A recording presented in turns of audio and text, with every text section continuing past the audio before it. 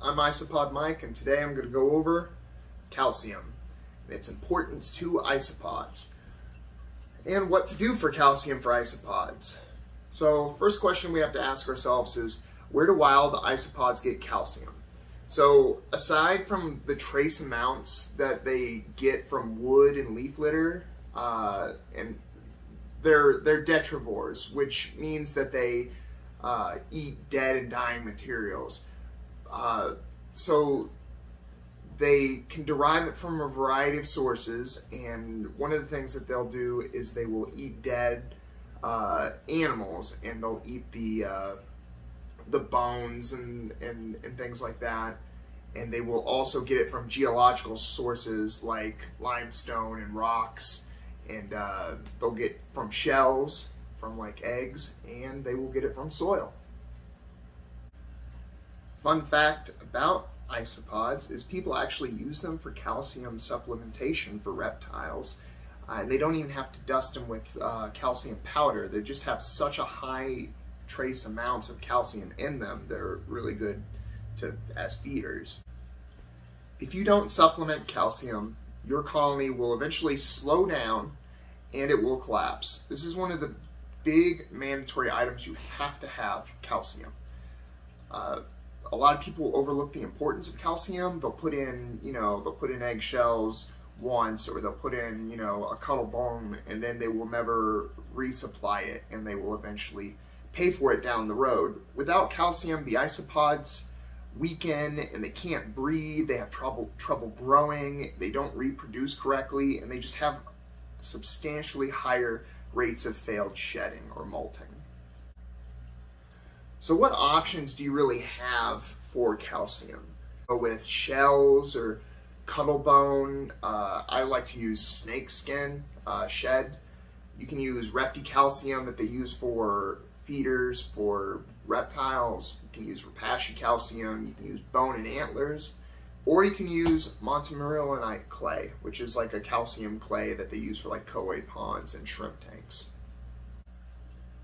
So with egg, you can just take, you know, eggs that you have in your kitchen. You don't have to wash them. Salmonella is not a concern for isopods.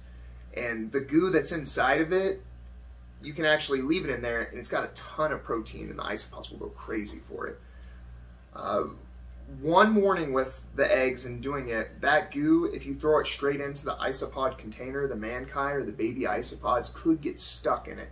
So one of the things that I like to do is, you know, dry them out first, set them out for a day or so until it just gets uh, brittle and it doesn't have that moisture.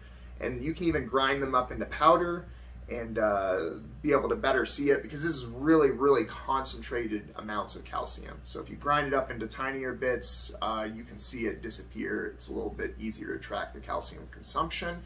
Or you can take the shells and just turn them on their side and they'll use them as hides, which they really enjoy. So I do a mixture of both. I grind up some of it, sprinkle it in, and then I'll put a couple in upside down so they can get in and hide in it. The next option that's super popular to do is to supplement with cuttlefish bone, which is a bone from like an octopus-like creature, and they, they harvest it from the ocean, and they give it to, normally they give it to birds to supplement calcium for them.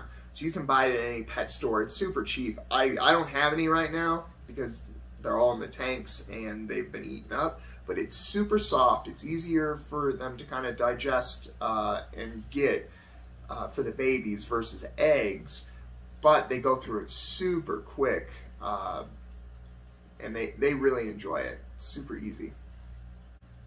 Another thing you can use is limestone. You can offer it as whole rocks or pellets. You can get that from uh, garden centers. And when you offer it as a whole rock, it's pretty cool because they will actually burrow into the rocks and it'll then double as a hide. Uh, limestone is a good source because many isopod species come from places with high limestone content, like Porcellio species and Cubaris. They come from places that have limestone caves. So it's a supplementation that is more like in mimicking their natural environment. So another thing you can do is supplement with bones, antlers, and snake skin. Bones take years to break down, so you can you can get like chicken bones or turkey bones or any kind of animal bones that you have. Uh, it, it, can have meat on it, do whatever. Just try not to have too much because that can attract pests. But uh, you can help speed up the breakdown process by actually like hitting the bone, crushing it up, breaking it. Uh, antlers are really great option because the inside of them are hollow, so they'll double as like a hide. Now I don't I don't go hunting or anything like that, but I know people that do. You can get it from people like that. And uh, snake skin, I have uh, have a snake. Whenever it sheds, I take it out and immediately throw it in the isopod pen, and they just go ape for it. They love it and they just swarm it, and it will be gone within like a couple hours. So the last option we have are powdered calciums. Now a lot of people will be familiar with powdered calciums if you deal with reptiles, you know, you'll dust your feeders and then you throw them in to make sure that your reptiles are getting the calcium that they need. Uh, those are a little bit expensive. You use what you got if you have them and you want to use it for that, you can. My go-to is this calcium powder that they use for uh, koi ponds and shrimp. Before I did isopods, I'm really into fish tanks. I love shrimp. I've been using this stuff for a while, and this huge four pound uh, container cost me like 25, 26 bucks on Amazon. So I've been using this for like years and still it's like not even halfway done. So I highly recommend if you're gonna have a decent amount of colonies to use this. Now while I always have this powdered stuff in all of my tubs as an option because it's a powder and it's very, very fine and the baby mancae can get to the calcium. Now if they are using eggshells, if you're using limestone, you're using all this other stuff, uh, it can be harder for them to actually get eat the calcium and get it into them.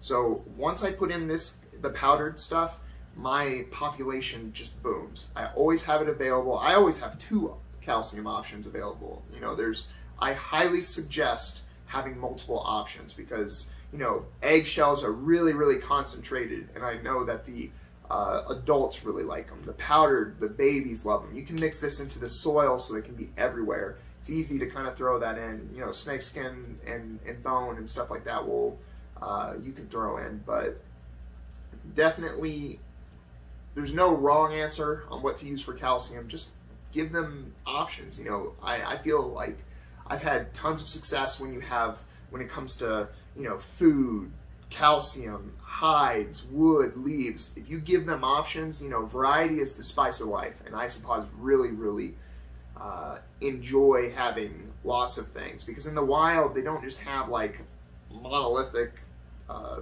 options. You know, they don't just have one options. They always have multiple things, and they kind of like, oh, you know, I prefer this, and they'll go do that. So it really will help with keeping your isopods happy and making sure that your colony continues to grow and be fun.